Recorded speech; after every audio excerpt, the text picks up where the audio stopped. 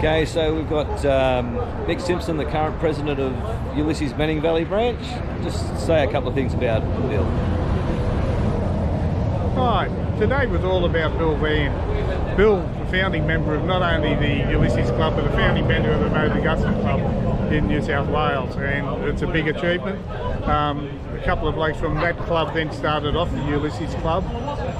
When he died, it left a big hole. He's the last of the founders, and so we got together for a ride today, and there was people from all over. You know, Sydney, we had um, from Sydney we had uh, the national uh, treasurer turn up for, for NatCom, and also members of the old Motor Guzzi. I've got to get that right. They always correct me. Uh, the, the Motor Guzzi Club. Um, it's been a great day. I'd like to thank everyone for turning up and participating.